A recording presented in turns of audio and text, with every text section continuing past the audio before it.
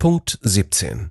Umsetzungsmittel stärken und die globale Partnerschaft für nachhaltige Entwicklung mit neuem Leben erfüllen.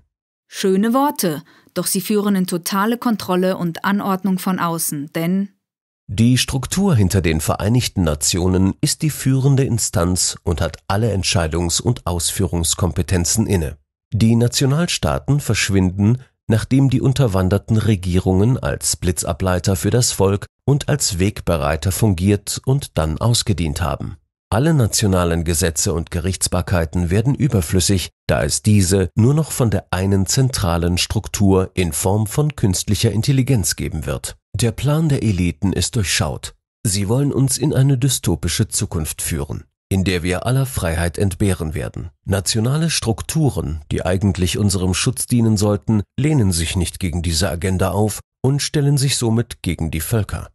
Dies ist auch kein Wunder, ist doch heute schon jede Regierung unterwandert und in maximaler Abhängigkeit von den globalistischen Strukturen, die auch das Geldsystem kontrollieren.